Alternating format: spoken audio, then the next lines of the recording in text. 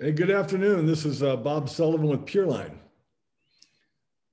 I hope everybody's having a good day. We're going to start the, so this is our third webinar, um, but we are going to start what I feel is a very exciting discussion. Um, this really gets down to brass tacks. We have a lot of people talking about how do I take care of Legionella? You know, what chemicals do I use? What systems do I use? But then you listen to people who have the boots on the ground. For example, my uh, uh, buddy here, Greg Bova from Johns Hopkins.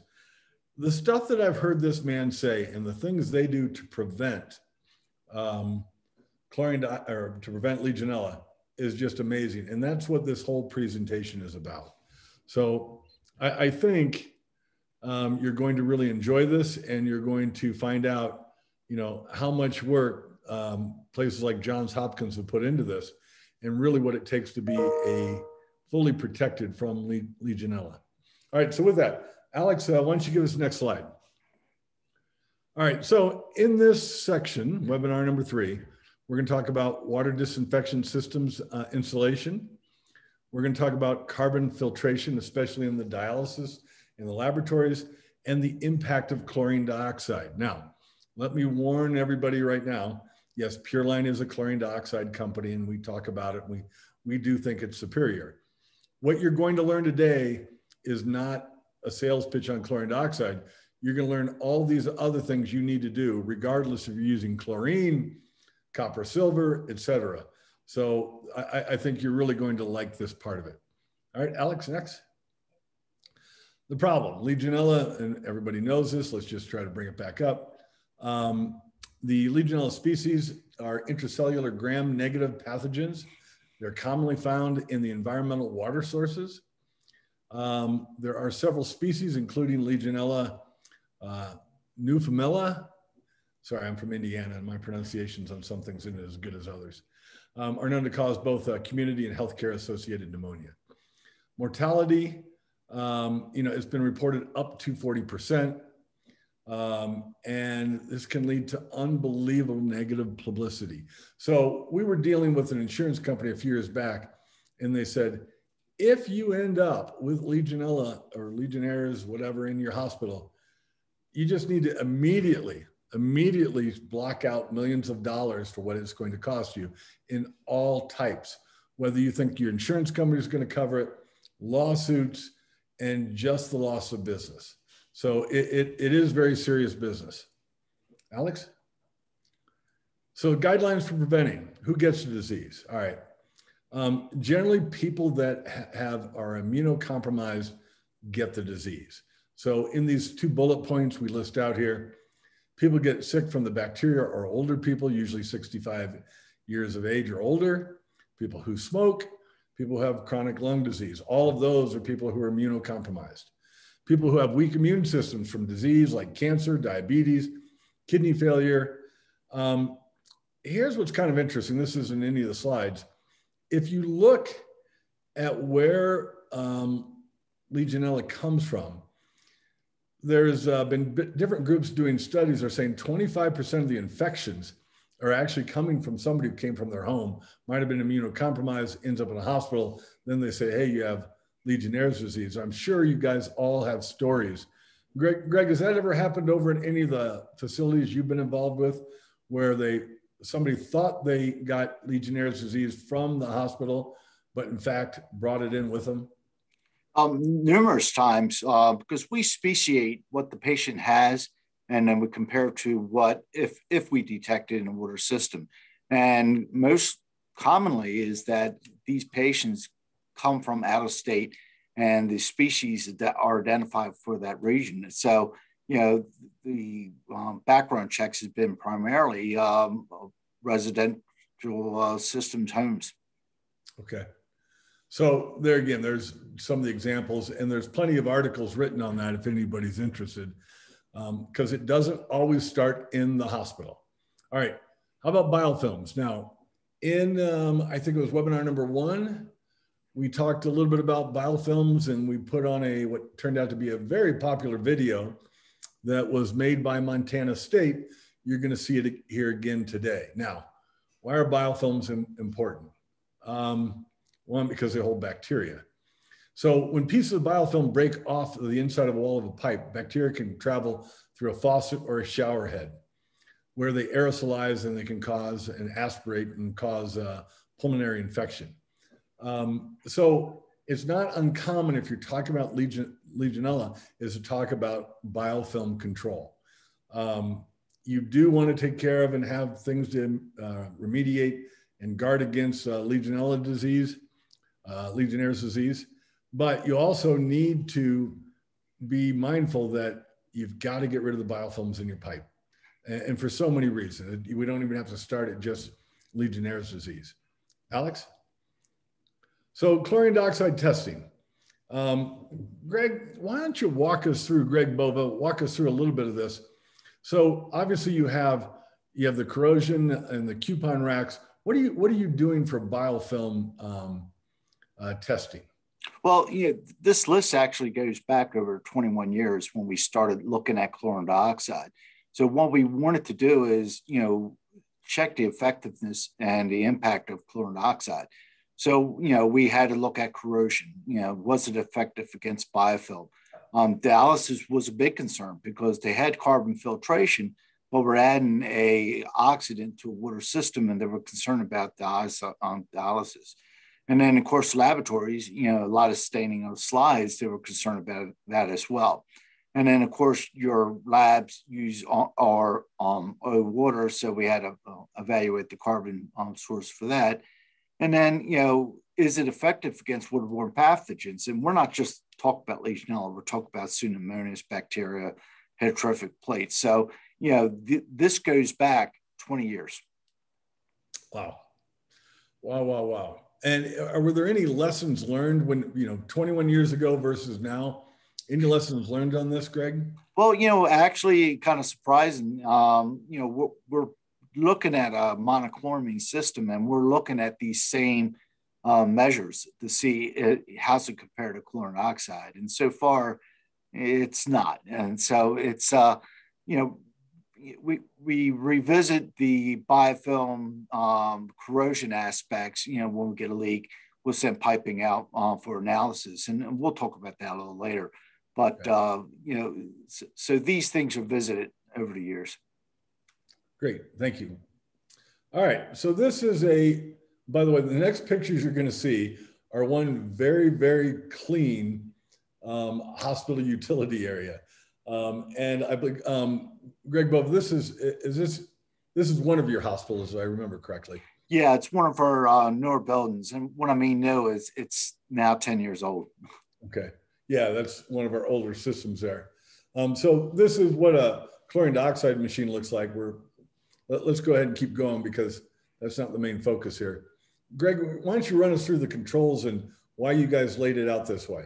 Yeah, okay. So what we wanted to do is not just control, but also um, monitor the chemical levels in the water system. So on the lower right, you'll see a city water chlorine chemical meter. Um, what we observe is that the city chlorine levels will fluctuate. And as it fluctuates, the uh, variable speed pump to the chlorine dioxide system will go up or down. And so, you know, we use it as a measurement and also as an alarm. So if the city chlorine levels go down to zero, we're solely dependent on our chlorine dioxide.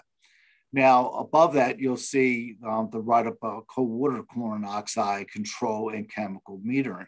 So what the reason why we have two meters is that cold water, you drink it. So uh, EPA has very strict rules related to consumption. And so our concerns and is related to drifting of a meter. So the meter may say you're at, you know, 0.5 parts per million, but in reality, you can have one to two parts per million. So these meters both measure the same volume of water, same source, and that if you have a um, differential um, range exceedance, um, that it can shut the pumps down for a standby. Um, you know, and so the meter can be checked out. Is it a pump? Is it the meter? What's the problem? And then, of course, over on the right side is a monitor for the hot water system, and right below that is a sample cooler. And a lot of people don't know this that, you know, the water's coming back about 110 degrees, 112, 118, depends what you run your system at. Well, the electronics in these monitors cannot um, read accurate when you exceed those high temperatures. So we put a cooler in there so that knocks the water down on the temperature um, so that the meter won't be damaged. And so, but we only have one meter for the hot water because people don't drink hot water, you know. So, you know, but so we got two on a cold and one on a hot. Great. Um, and Greg, and, and I, I, got a question for you. This comes from Suzanne. Um, during your last 21 years, have you experienced changes in diversity or amounts of multi-resistant um, uh, resistant uh, germs in the tubes of the hospitals uh, in biopsy? No. Okay. And um, a- actually, when we go into webinar four, we go into details of the testing. But to assure you that initially, uh, because we're trying to learn how to use chlorine dioxide, and, and we'll go in a little, de- little more detail about, you know, a disinfection system is not a silver bullet. You got to do a lot of other things. But what we have done is have a very effective zero detectable level of bacteria and Legionella in our water systems. Great, great, great. All right, so let's talk a little bit about water filtration and the role it plays in the whole system. Um, Greg Bova, why don't you go ahead and take this one? We're going to ask uh, Greg Simpson to comment if that's possible. Yeah, so, you know, we're connected off the Baltimore City water supply. And so you have a lot of galvanized pipes in the mains and all that. And so you get a lot of debris and sediment that comes in. What this filter system does is filter um, anything 20 microns and higher. And basically, it keeps the mud out of the water system, the debris. And it's an automatic system, it's a power driven back flush. And um, we put these on all of our buildings uh, that have patients. And, and we haven't had any problems, but it's an added measure to minimize the introduction of debris into the water system. And this is one of those facets beyond a water treatment system that we've done to help control waterborne pathogens.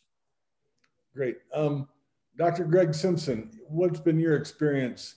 Uh, by the way, for those that don't know, um, Greg Simpson's written a number of books on chlorine dioxide. Um, Greg, can you give us kind of a an overview of your experience on the uh, water filtration systems in hospitals? I, in my opinion, uh, filtration is absolutely essential. One of the one of the problems in these uh, closed systems, particularly, is iron, and uh, iron just increases and increases. And I've dealt with several systems that have a lot of iron problems. And filtration is the only really the only real cure. Uh, there's a large, maybe the largest privately owned utility in maybe the United States, or at least it used to be. It's downtown Houston, and it's basically the uh, provides chilled water and air conditioning and steam to uh, the vast majority of the hospitals in central Houston Medical Center. And a number of years ago, they had a real, real problem with iron. And because of the interconnectedness, it was it took them a long time to solve that problem. And filtration was really the only way they could go. In another hospital in Lubbock, we did uh, we we I was working with a guy and we set up uh, cartridge filters, and they had to change those cartridge filters out routinely up front. Uh, and then as time went on and the system cleaned up, the change out of the cartridges became less and less and less. Yeah, we, that, we, that help? We, yeah, she does, Greg. We had that problem at a university north of Chicago. We put our chlorine dioxide system on on their lines. Now these were big lines, and the amount of material that came off the walls of the pipe filled up 40 foot, um, 40 foot uh, roll off a, a waste dumpster. So, all right, Mr. Alex. All right, so domestic water heaters and return pumps. Again, this is all the nitty gritty detail of the hospital and things that you need to pay attention to if you're going to control um, Legionella. Uh, Greg Bova, you want to describe your experience there? Sure. Um, so, you know, it was a brand new building, and we had problems with um, uh, water temperatures and flow rates, and and so these pictures is the modifications that the hospital did, not the contractor, but the hospital did to make the system work. And so we, in, in short, we had um, going out to the interval on a hot water system, you know, maybe 100 degrees, and we ran the water for 45 minutes, and we were did not approach 112 degrees. And so we did a lot of mod- modifications, and, and, next slide will also show that and what, what some of the modifications were. But also, we um, increased the return water supply. And by doing so, we now have, you know, you turn on a faucet in less than a minute, you have 112 degrees. But what does that really mean? Well, you know, treatment system or not, you know, if you have poor flow and poor temperatures in the water system, you have that opportunity of growth of biofilm in a piping system. So we were trying to eliminate that possibility of growth by improving flow rates. So Greg, let's tie that in with the next slide here. Alex? All right. So this slide is a diverter valve. And what happened is the arrow to the left is the hot water return. The arrow on the bottom goes to the hot water heater. The arrow on the right bypasses the heater. Now, one of the things that that I found by looking at the thermostatic element that these units come with 110 degrees. Now you're trying to run 112 in a water system. Uh, you know the manufacturers push these 110 degree elements. Well, the 110 degree elements start opening at 100 degrees.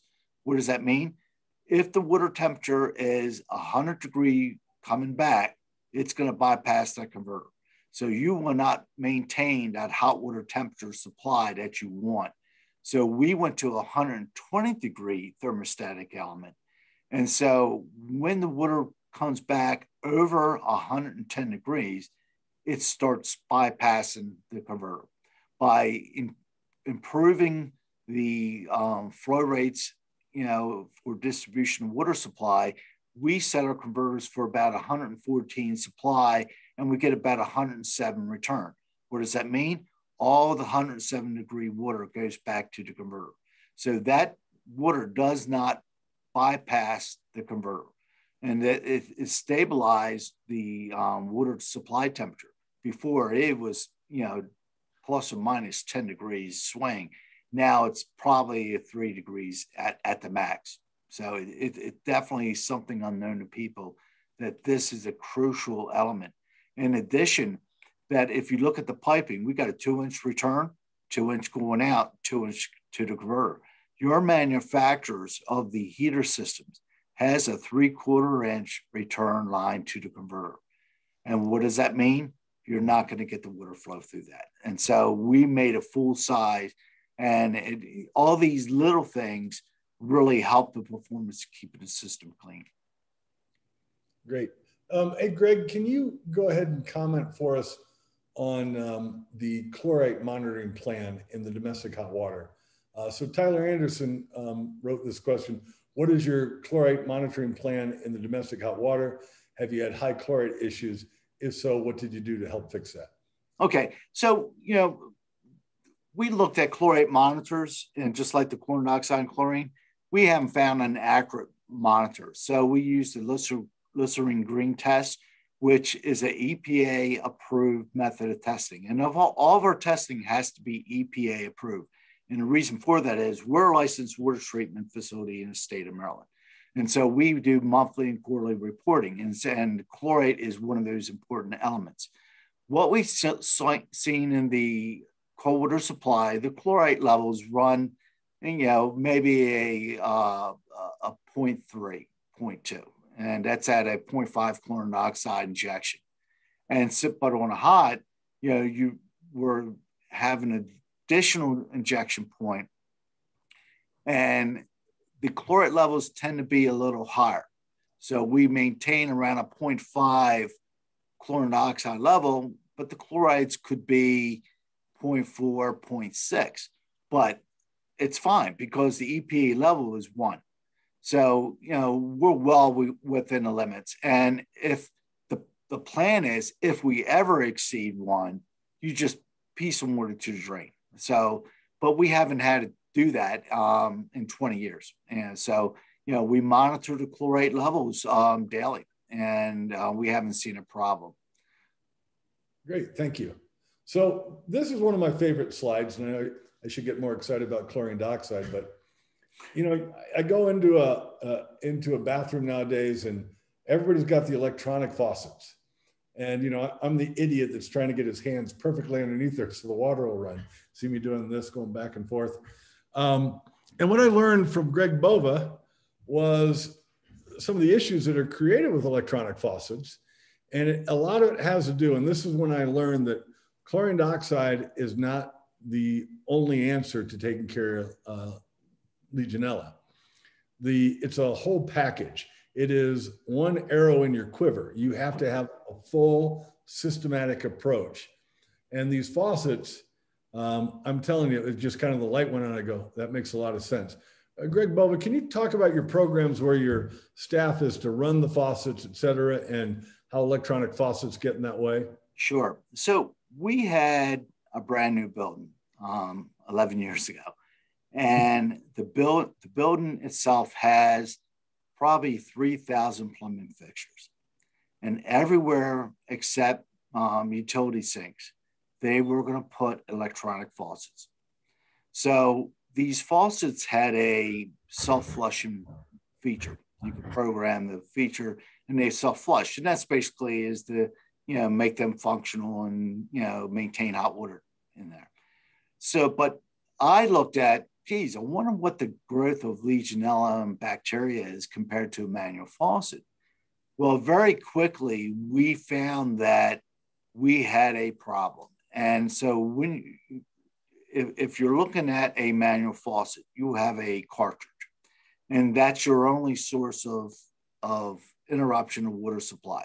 So water is upstream of the cartridge, you open a um, handle to the wrist blades, and then you got water flow. And so water goes around the cartridge. But an electronic faucet sink has a lot of components. So you have a, if you look at the uh, diagram on the left, you have a inline filter with basically the screen a little check valve to prevent um, backflowing of water from cold to hot, hot to cold. Then you have an electronic solenoid valve, and then you have an aerator. Well, each one of these components, the sections between them was tested, and we found that they accelerate the growth of bacteria Legionella like four to five times of a manual faucet. And so this information was presented to our infection control, and it got to be such a big stink that it went to um, um, Chicago, believe it or not. Um, and there was a lot of bad mouth that this was not a scientific study, blah, blah, blah. But this was a true application evaluation. It was not a study. And so the end result was we elected Johns Hopkins not to put electronic faucets in areas that have patient use or access. So basically is all public bathrooms have the electronic faucets and everywhere else is a manual faucet.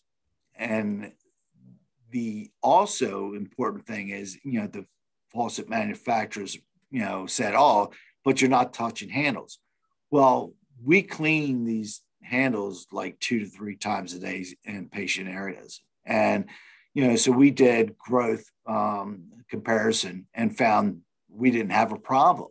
And the electronic faucets, it's just a suggestion. It reduces on nosocomial infection rates. There's no proof to that. So the addition to that is that these electronic faucets, they were going to put aerators in all these. Well, what's aeration? Well, you know, you got Legionella in a water system, and now you're aerosolize the Legionella. So in place of aerators, we have laminar flow devices everywhere. And what they essentially do is they act like an aerator, but it doesn't aerate the water, and you got laminar flow. So, you know, so we went in this brand new building back to manual faucets and laminar flow devices, and we haven't had a problem since. That's great, great. And this this is what really got me into this level three when when I started talking to facilities guys, uh, people like Greg Bova, saying what they do way beyond just the chlorine dioxide. I thought it was pretty powerful. Um, hey, we had a, a question out there. Um, will this, uh, um, you know, is this being recorded and will it be available? Um, I've got a person who'd like their plant facility staff to watch. And I believe the answer to that is yes. Um, Alex, um, Alex's name is at the end of this thing. And so I, I, assume generally our company puts things on YouTube, et cetera, but um, chances are Alex can also make arrangements if uh, somebody wants to see it um, in a download, downloadable uh, fashion too. All right, so impact of uh, flashing water fixtures. Um, the hospitals that seem to really have this dialed in have daily flushing protocols. Um, and Greg Bob, I know you were involved at, at Johns Hopkins on this. And again, I'm not, I'm not trying to pick on Greg all the time, but he is the boots on the ground here. And, you know, with me, you're going to hear a different story. With him, you're going to hear the truth. So let's go ahead and have you. Uh, yeah. So, you know, you know, we've been testing um, for Legionella and other waterborne pathogens for over 21 years, actually. And one of the things we saw was that we had a 2% positive in our testing sites, and we couldn't figure out why. So I started looking at it more deeply and realized the water in some sinks weren't being flushed. Same with the showers. Because you're a patient, you may not take a shower, it's there. And you could go through five patients, and all of a sudden the patient decides to use the shower, and now they got to drain all this water out of the pipe. So, what is happening daily in a patient room? Well, they're cleaning the bathroom. So it's very simple. Well, I turn the water on, hot and cold, and I clean the sink and all that. And so you're basically dumping out the bad water and replacing it with good water. And same with the shower. All the tile work is wiped down. So what harm is it to turn the water on while you're doing it? And by doing this alone, we got rid of that 2% positive sites. And so we've been doing it for, geez, I don't know, over 15 years. Wow. Wow. Wow. Well, that's great. All right. Now we're going to start getting into some of the dirt here. Greg, you want to just keep going? yeah. Yeah. So this is a four inch basket strainer. So the water comes in from Baltimore City through a strainer through backflow devices. So this is the water quality being received to the hospital. And this is a strainer that has about 20, 25 micron holes in it. And what you see here, and we we had our own lab culture this filter. And what they found was a lot of gram negative bacteria, over 10,000 coliform units. And the black was, was Legionella. And so we can test the water system from Baltimore City, not detect Legionella, but that's because it's, it's suspended and you need a lot of volume of water to, to try to find it. And you know, uh, next webinar, I'll go into the details about the culture methods, but you know, this is a prime example of what we see coming into the hospital. Wow. I'll, right. I'll, I'll, continue.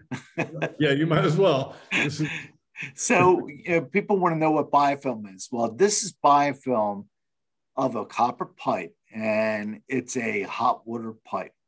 And so you see all the bumpiness. It's not a smooth copper pipe. And this was also tested to see what is it.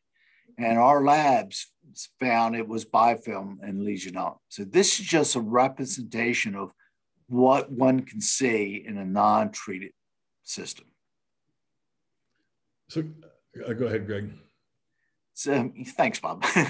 so this here is a valve, okay, that we took apart. And because of the vo- velocities are lower in piping systems, and it's because piping systems are designed for max flow rate. So you may have, you know, 500 GPM, but design, but in reality, it could be 100 GPM. And what you see here is from Baltimore City and galvanized piping. It's a lot of scale. It's a lot of biofilm. It's a lot of Legionella was found in this valve. And you can see in the left picture that little silver knob, that's a stem to a valve. So, you know, if you open up your valves, you you very well can see this. So the other part, you know, we, we had to look at was corrosion. And so every time we get a pinhole leak, the, the, the procedure that I implemented is note where the leak is. You know, take a black marker. It's on the top of the pipe, side of the pipe, bottom of the pipe. And so over the 20 years of piping analysis done, and, probably twice a year I'll send piping out because I, I want to know, is there a long-term effect of chlorine dioxide to pipe systems? And so what we found was that uh, high velocities were one of the cause. And, and what I depicted was a pipe that you can section a pipe and you can see the scarring in the pipe. It's high velocity. Low velocities, you know, flux. Um, if you ever flux a joint for soldering and you don't flush that line, the flux is an acid. It will put a hole in a pipe. Um, the chlorine can cause a problem. Now, the chlorine in conjunction with low velocities is the issue and importance about noting is the leak on the top of the pipe is that if you have a low velocity condition in a pipe, a air pocket forms on top of the pipe. The chlorine will separate out of the water as a gas and eat through the pipe. So that's why it's important to understand the sizing, the velocity, and where the leak is. And so these four items have been found by our labs. There's been no direct link to chlorine dioxide related to leaks.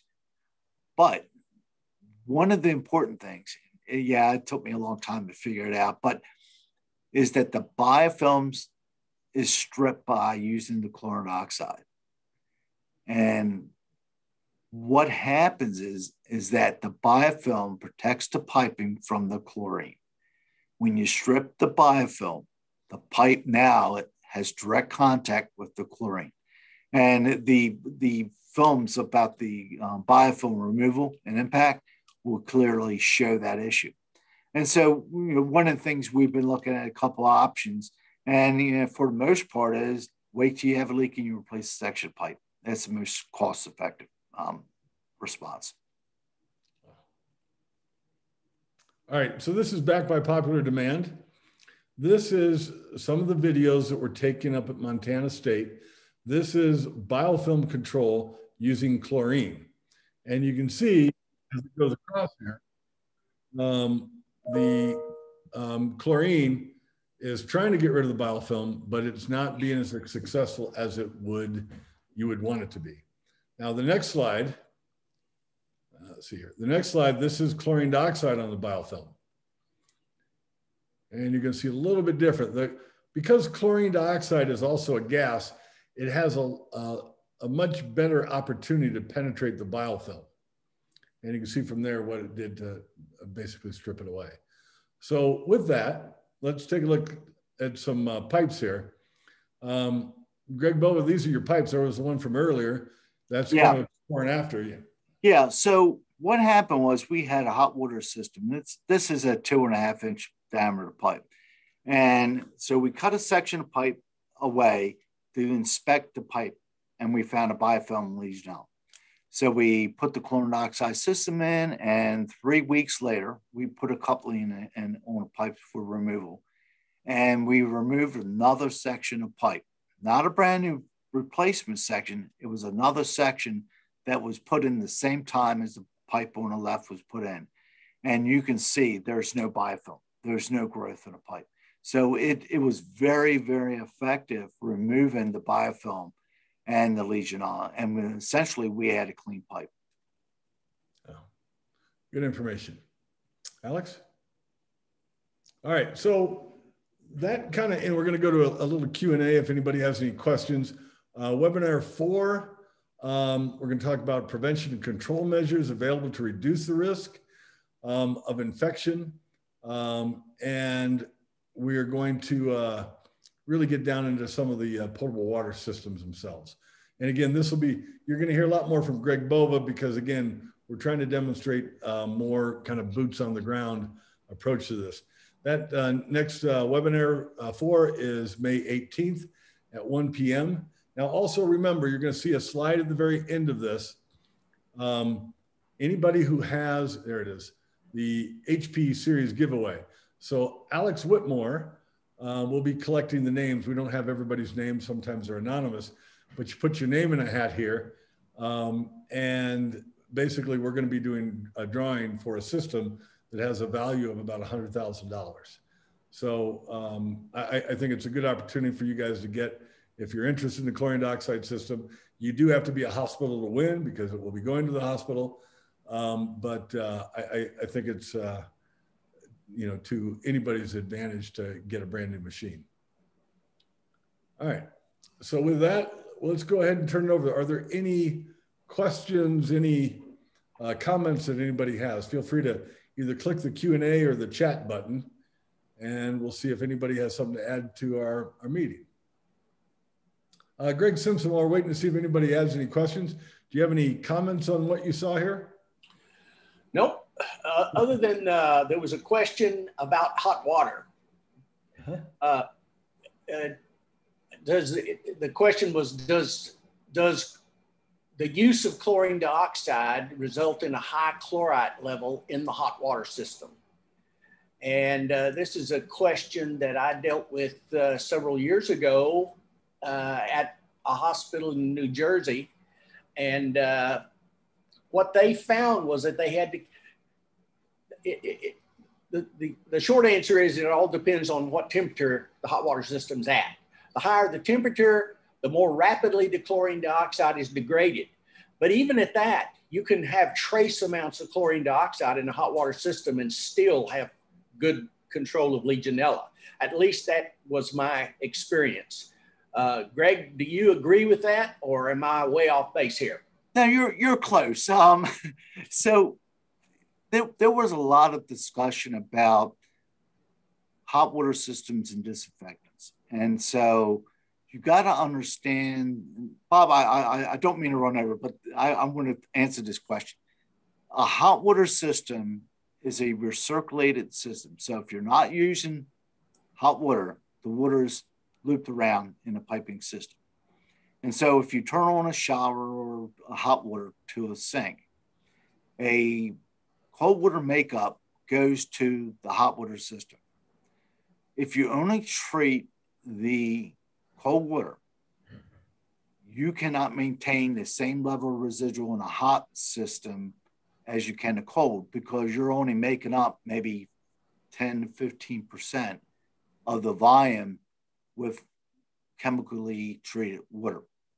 So one important parts that we treat with an injection point in a cold water main, but also a separate injection point downstream of the converters to maintain residual in the hot water system.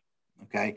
It took me about 10 years to figure this out, but we found out that this gave us the ability to maintain residual levels of both the hot and cold water.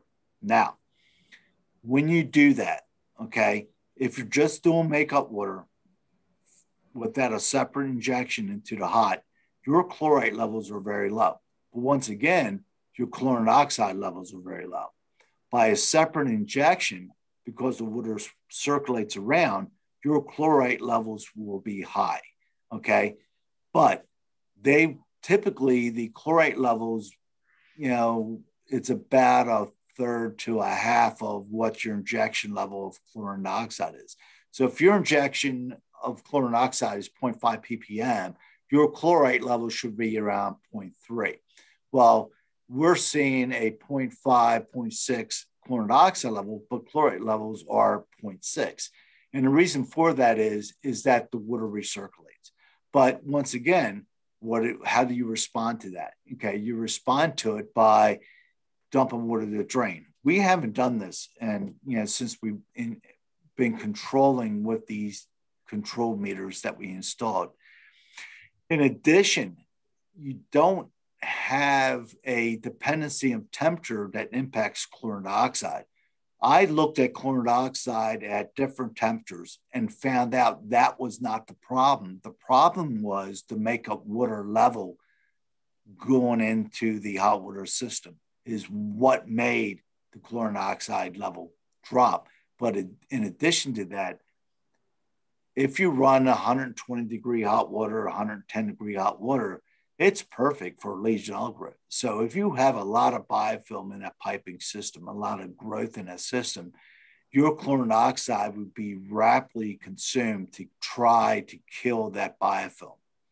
So, you know, one of the things I, I didn't talk about, but I'll talk about real quick, is that an important aspect to making an effective system is that upon startup, you do a flush remediation. And I'll go more detail on uh, webinar four, but that is a excellent starting point that we developed here. And you'll and and I'll talk about that in the next webinar. But why is it important to do that? But that you know, if you have a clean system and you're injecting downstream of the um, converters, you can run at a lower temperature, but your chlorite levels are well within the EPA limits. So, great, great comment, Greg. Um, hey, I've got a, I got a question here also, and, I've got a customer out in California dealing with this. Um, this comes from Suzanne. Are there experiences in the duration of chlorine dioxide in tubes that have not been used for weeks? Um, here I saw it needed 60 minutes, but how much time is needed for treatment on pipes that are not used for a long time? I've got the same situation out in uh, California.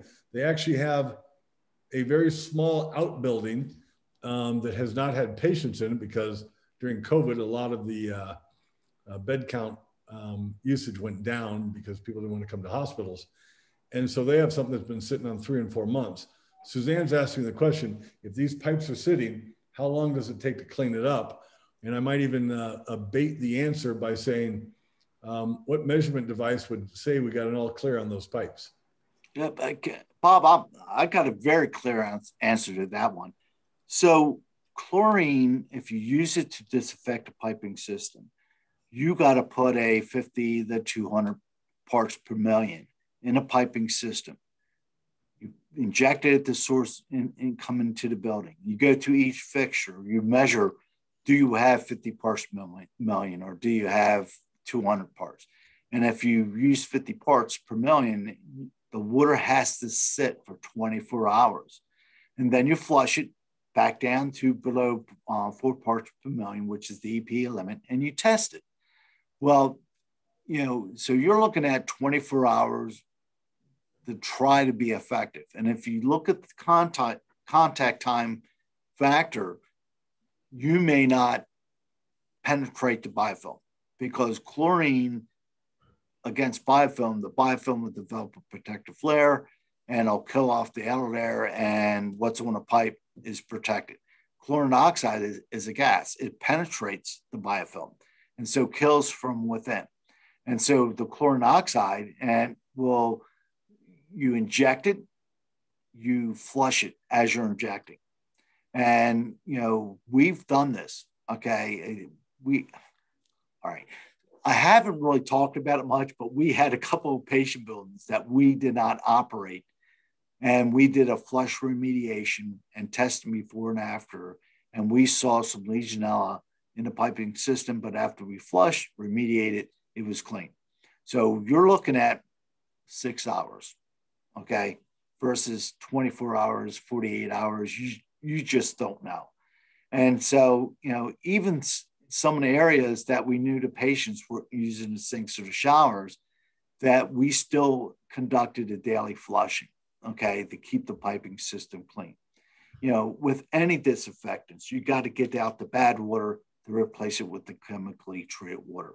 So it doesn't matter what you treat the water system with, you need to make sure that it's very reactive, very quick, and be effective in killing the pathogens.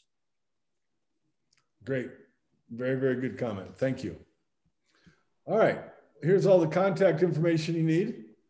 Um, if there are no more questions, we're going to go. I have a question. Yes. Bob, this is Greg Simpson. Um, my question to Greg Bova is what about testing? Are you going to get into that next seminar? Yeah. Okay, good, good. Yeah, yeah. I'm going to talk about um, lesional testing, chemical testing, you name it. Okay, good. Great. Well, guys, with that, thank you for staying over extra time. Greatly appreciated. That's the end of our meeting. I appreciate it. Thank you.